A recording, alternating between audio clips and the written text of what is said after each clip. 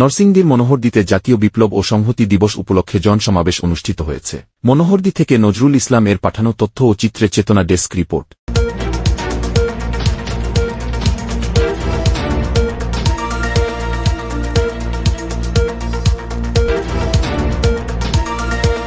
শনিবার বিকেলে মনোহরদী উপজেলার পাঁচকান্দি উচ্চ বিদ্যালয় মাঠে এই জনসমাবেশ অনুষ্ঠিত হয়। এই জনসমাবেশের আয়োজন করে গোতাশিয়া ইউনিয়ন বিএনপি ও সহযোগী সংগঠনের নেতাকর্মীরা।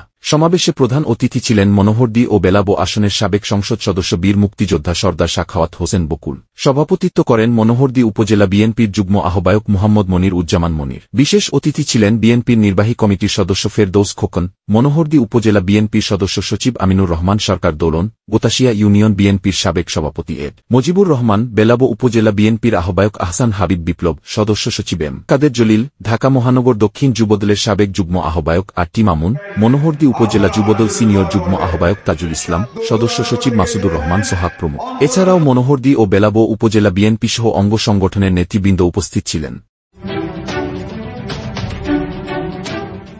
চেতনা টিভি। স্বাধীনতার চেতনায় চির উজ্জ্বল। আমাদের সঙ্গেই থাকুন।